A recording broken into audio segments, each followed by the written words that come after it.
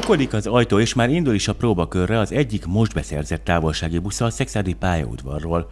A fejlesztésnek köszönhetően ezekkel a járművekkel mehetnek munkába vagy iskolába, mostantól 17 járaton az utasok. Ez a beruházás, ez a fejlesztés több mint 1 milliárd forintos ráfordítással valósul meg, és a ma üzembe helyezett 17 autóbusszal együtt Tolna megyében az elmúlt két évben 50 új autóbuszt tudtunk átadni. A 75 és 73 személyszállítására alkalmas új buszok a legszigorúbb környezetvédelmi elvárásoknak is megfelelnek, emellett babakocsi és kerekesszék tárolására alkalmas területekkel rendelkeznek, sőt még USB csatlakozókat is telepítettek beléjük, így utazás közben akár mobiltelefont is lehet velük tölteni.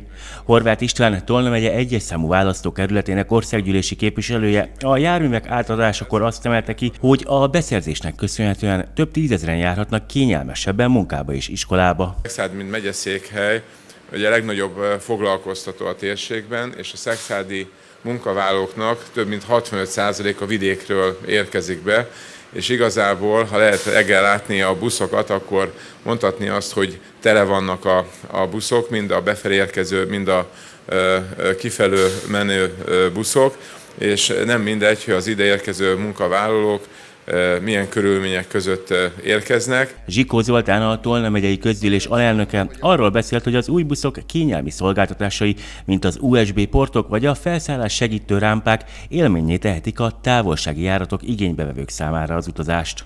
A megye továbbra is alázattal vállalja az együttműködést, a közös munkát, hiszen Tolna megye előrehaladása az elsődleges feladatunk, az itt élő emberek boldogulása a mi közös ügyünk és kötelességünk. Tolna megyében egyébként évente 900 ezer távolsági jegyet értékesít a Volán busz, a járműveik átlag életkora pedig a mostani beszerzéssel 12-ről 10 évre fiatalodott.